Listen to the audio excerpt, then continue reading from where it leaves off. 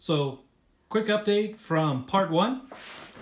I have, this is the first battery. So this connector from the BMS goes to this battery, 12S.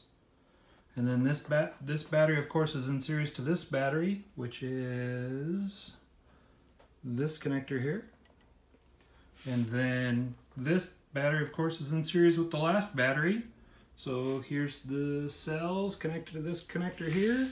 The orange, the yellow, and the red come all the way through the cable back to the nice Orion tap validation tool. So now when I click on it, bank one good, bank two good, bank three good. Correct, correct, correct. Correct, correct, correct, and correct, correct, correct. Here's the voltages, 3.5 all the way to 43.2. Next bank is 46.8 to 86.6. Bank 3 is, what is that, 90.1 all the way to 129.9. Um, so I got it all working. It's all wired up. It's series. You have to connect the batteries in series so the cells can correctly be read by the tool tap valid tool tap validator.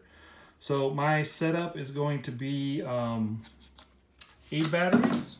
So I'm going to need to do this and this cable uh, three more times and with what five more batteries. So got that all set up. Once I get that all good to go in, then we'll go back to the Orion and try and communicate with it with my Elcon I think it's called a PFC 4000 charger and see if we can get that all working.